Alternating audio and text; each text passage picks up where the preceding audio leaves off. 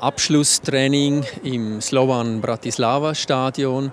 Die Mannschaft ist seit Sonntagabend hier in der Slowakei. Matthias Vogt, wie nimmst du die Stimmung im Team nach dem Bosnien-Spiel wahr? Naja, ich nehme die Stimmung mal so wahr, dass wir vor dem nächsten Spiel stehen und dass die Mannschaft durchaus konzentriert ist und äh, engagiert und angespannt und sich auf das neue Spiel vorbereitet, was äh, stattfinden wird. Was traust du der Mannschaft gegen die Slowakei morgen Abend zu? Oh, die Mannschaft die wird ihre Leistung abrufen. Sie hat für sich selber was gut zu machen weil ähm, das vorhergehende Spiel, muss ich doch noch mal drauf eingehen, war vielleicht nicht so gut. Aber man hat seine Lehren gezogen, gehe ich davon aus, und man wird eine andere Mannschaft sehen und sie wird vielleicht durchaus ihr wahres Gesicht zeigen. Matthias Vogt, du bist jetzt noch nicht allzu lang Präsident vom LFV. Was ist dein Eindruck von diesen Länderspielen, von dem Auswärtsspiel, von dem ersten Auswärtsspiel, wo du mit dabei bist?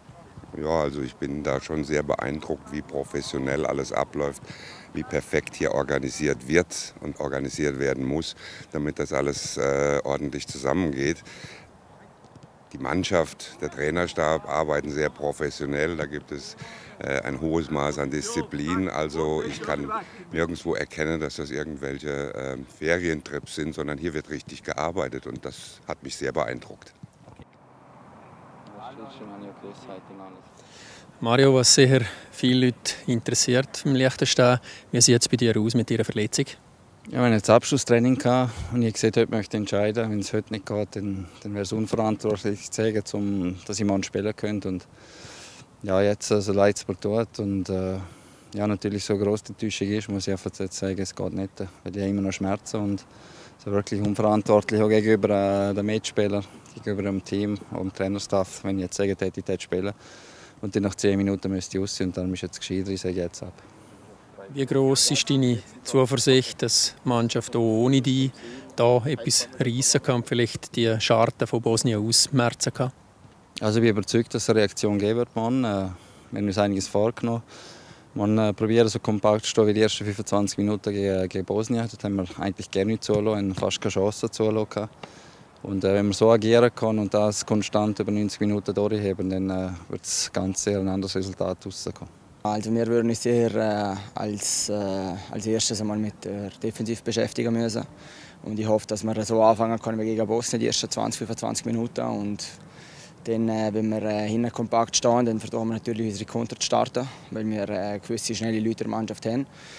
Und äh, natürlich wird es wieder ein schwieriges Spiel und äh, ich hoffe, dass alle Spieler das achte Ansatz vergessen haben und morgen eine Reaktion sagen.